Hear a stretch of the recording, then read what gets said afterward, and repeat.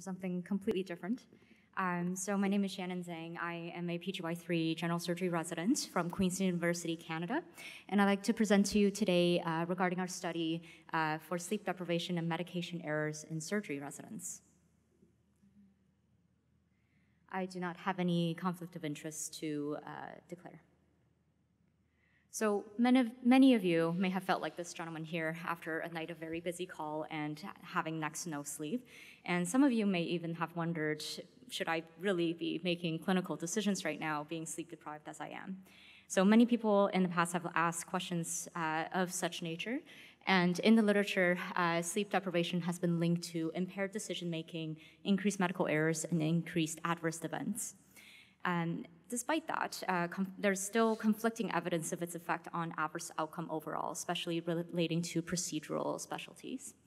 Um, but I wondered whether or not the uh, aspects from the standpoint of medication errors were somewhat less exciting to us surgeons here, if that is more affected uh, in terms of sleep deprivation.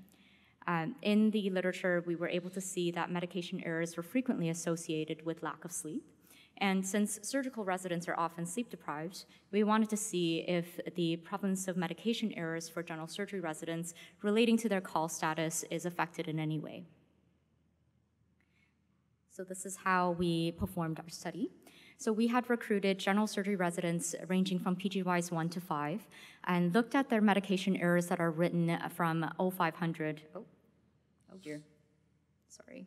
It's doing that thing again um, from 0500 to 0800, and as that represents the uh, time when surgical residents will be rounding and most of the medication errors are written, and this was all collected on a single surgical floor. These medication errors are then uh, delivered down to our pharmacy department where the errors are then communicated back to the floor via medication memorandums. At the same time, we also had independent assessors who look at these errors as well and compared them to the medication taxonomy definition that we had uh, collected through our literature search, which I will talk about uh, later on. These medication errors are then divided into their no call or post call status, depending on the resident who is of that status at that time. Because this is a within subject study, we actually compared the rate of the medication errors with each other rather than the individual residents uh, themselves who are post call or no call. We decided to exclude any consulting service errors, any uh, verbal, uh, sorry, consult consulting service orders, any verbal orders, as there could be some transcription errors that are involved in this, and any admission orders, as these involve a different ordering process. But we did decide to include clerk co-sign orders, as the residents themselves will have to look uh, over the orders and sign them. Uh, we generated our taxonomy for comparison, as mentioned before. And we also wanted to see if residents themselves are uh, aware of whether or not they make more errors or if they think that they make more errors when they are sleep deprived. And we also wanted to see how sleep deprived they are by assessing their sleep hours when they're on call versus when they're not on call. So here are our results. Um, so this represents our very comprehensive uh, literature search that we did, uh, essentially generating our medication taxonomy. A total of 29 definitions were identified. Some of the examples of this include uh, uh, ordering a drug without accounting for a significant drug interaction or accounting for a significant drug allergy.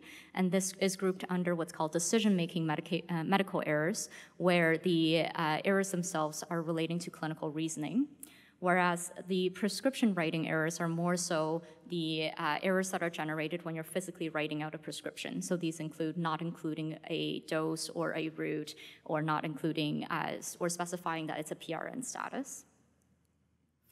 So in terms of how sleep deprived our residents are, sorry, uh, the residents sleep uh, on average uh, one to two hours when they're on call versus five to six hours when they're not on call, which is according to our uh, national uh, average.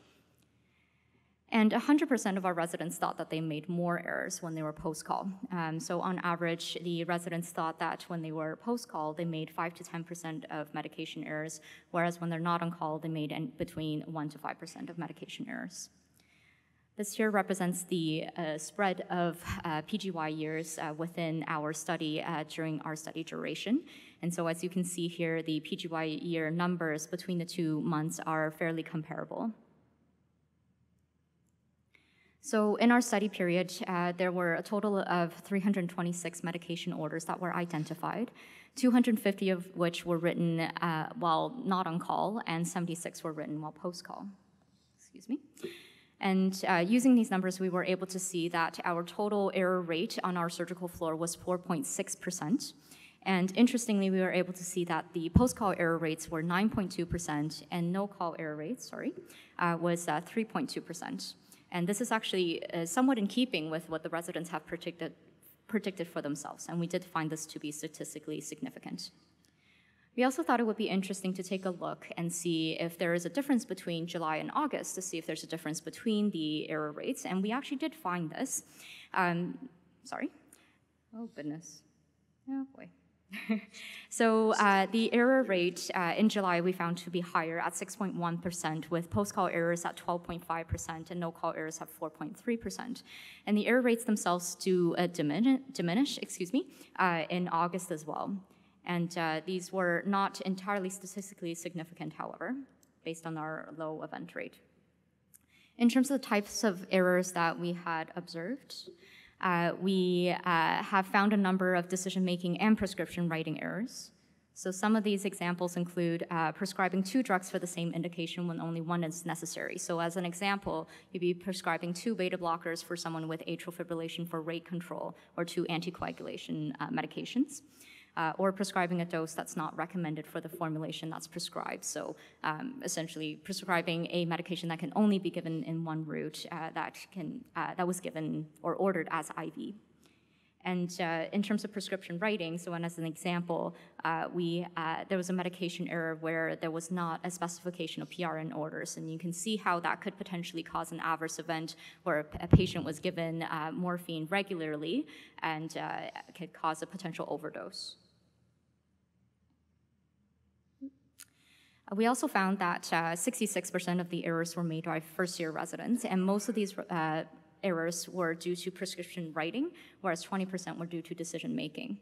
33% of these errors were written by our senior residents, uh, and 60% uh, of these represent decision making, and 40% represent uh, prescription writing errors. So we thought that uh, the results supported our hypothesis that sleep deprivation is associated with significantly increased medication errors as seen in our results, uh, and uh, specifically in post-call residents compared to no-call residents.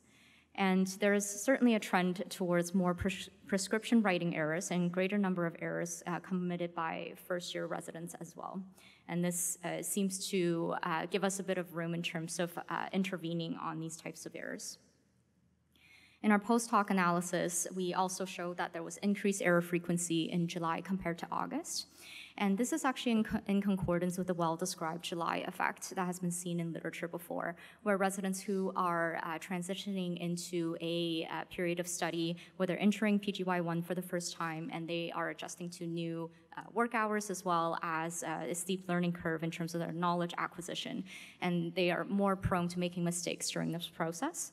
And so uh, we thought that uh, with the experience and pattern recognition that they have with increased uh, work, uh, with increased work amount, that their error rates actually diminish over time. And that might explain what we saw in August in terms of the decreased error rates overall. So um, in terms of any interventions that we could potentially do to try to mitigate these errors, we thought that it would be reasonable to suggest a prescription writing refresher course as part of our competency-based medical education, which is currently uh, being initiated in Canada. And uh, as part of our Foundation to Practice curriculum or boot camp, uh, we can introduce this curriculum at that time to help mitigate some of these errors that could potentially occur. The other uh, thing that we thought that would potentially help is uh, the use of electronic order systems. So this is a study that was conducted at a hospital where we use carbon copy orders ra as rather than electronic ordering systems. And so some of the errors such as missing dose or missing route can be addressed this way. So we do have several limitations as this is our pilot study and we're trying to uh, figure out if there's anything we need to iron out. Um, so certainly decision-making errors with potential for severe adverse events in our institution are communicated directly uh, to the residents by our clinical pharmacists. And these are not captured within the uh, methods that we uh, collected our errors. This is also a single surgical unit uh, within a single surgical special, specialty, so our results may not be necessarily generalizable. And since our event rate is quite low, we definitely need a longer period of uh, study time to essentially ensure that our data is uh, uh, more accurate. So in terms of future directions, uh, we do plan on addressing these uh, deficiencies as mentioned previously. And we think we would be interesting to compare between the PGY years and the timing of orders as well throughout the year to uh, assess appropriately whether or not the effect of July versus later on in the year changes the way uh, and changes the frequency of medication errors. We also want to increase our study length and uh, resident recruitment. And we uh, ultimately want to expand our study to include other surgical specialties and as well as consideration of a multi-center collaboration. Thank you very much.